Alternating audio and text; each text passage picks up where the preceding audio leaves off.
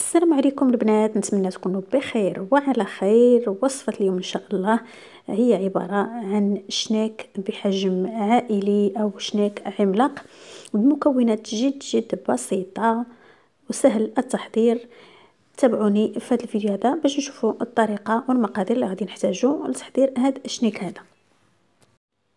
أول حاجة غادي ناخذ واحد سلافه غادي نديرو فيها معلقه ديال الخميرة الجافة أو الخميرة الخاصة بالخبز ومع واحد المعلقه صغيره معلقه يعني مع مراش ديال السكر.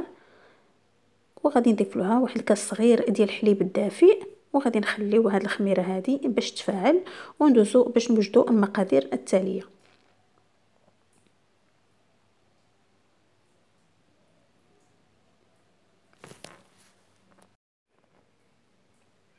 اذا بسم الله في واحد الإناء غادي ناخذ بيضة واحدة اللي غادي نضيف ليها واحد ربع لتر من الحليب الدافئ.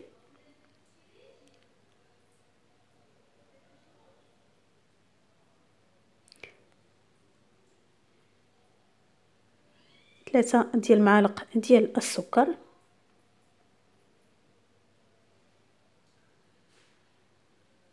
عندي هنا التمر اللي قطعته قطع صغيرة اللي ما عندوش التمر يمكن تعوضوها بالزبيب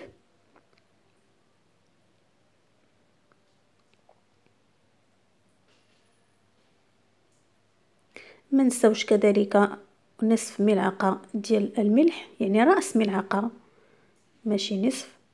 نصف كأس من الزيت النباتية. غنحتاجو كذلك ساشي. أو كيس ديال الفانيلا.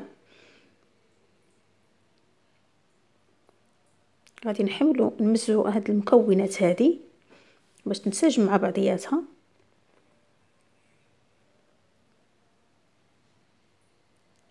ثم غادي نضيف الخميرة كما شفتوا هي تفاعلات.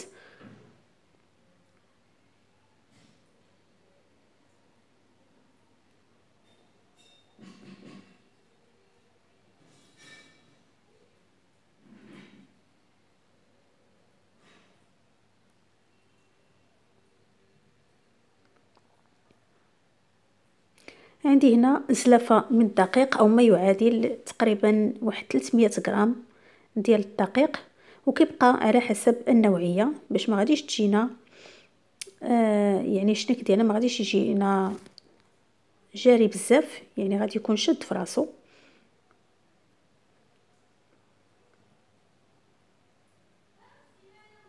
يعني تقريبا من 250 غرام حتى 300 غرام كيبقى دائما كما قلت لكم على حسب النوعية ديال الدقيق. بعد ما خلطنا هاد المكونات كلها هي نسيت بأنني قلت لكم نضيف واحد الكيس ديال الخميرة ديال الحلويات. غادي ناخذ يعني الخليط ديالي غادي نخويه في واحد المول اللي فرشته بورق الطبخ. بالنسبة للقطر ديال المقلاه اللي استعملتها تقريبا واحد 25 سنتيمتر. يعني الحجم ديالها كبير وكنحاول نقاد الخليط ديالي بشكل متساوي فوق المول ديالي. المهم في هذه الأثناء غادي نخلي آه يعني العجين ديالي يرتاح شوية بما أنه فيه الخميرة. وغادي ندوزو باش غادي نحضروا الكريمة اللي غادي نزوقوا بها هاد الشنيك آه، هذا؟ غادي ناخدو أول حاجة غادي ناخدو بيضة واحدة اللي غادي نضيف لها واحد الملعقة ديال الطحين. وغادي نضيف لها كذلك ملعقة من النشا وجوج ديال المعالق ديال السكر.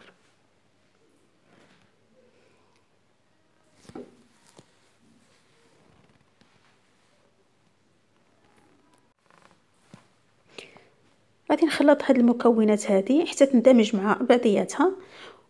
ومن بعد غادي ناخذ واحد كاسرول اللي غادي ندير فيها آه واحد كأس كبير ديال الحليب اللي غادي نديرو فوق النار حتى درجة الغليان. ومن بعد غادي نضيفو على الخليط الأول. وحنا تنحركو. وغادي نرجعوه الكاسرول وغادي نحطوه فوق النار حتى يرجع لينا كريمة عقده يعني بحال الطريقة اللي كنحضروا بها الكريم باتيسير غادي نديرو فواحد الجيب حلواني وغادي نبداو نديرو على شكل حلزوني هاد الكريمة هذه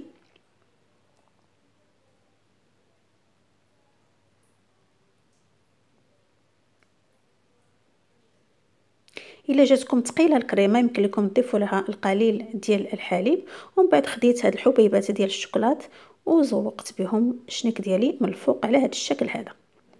وغادي ندخلوها الفران مسخن على 180 درجة وغادي نشعلوا لها غير من التحت حتى طيب وغادي نشعلوا ليها من الفوق حتى تحمر اذا ها هي ملي خرجناها من الفران وهي باقا سخونة غادي ندهنوها بالقليل من النباج يعني يستحسن أنكم ديروا هذه العملية هذه وشنك ديالكم باقي سخون. وغادي نخليوها حتى تبرد تماما. عاد غادي نحيدوها من هذا القالب هذا.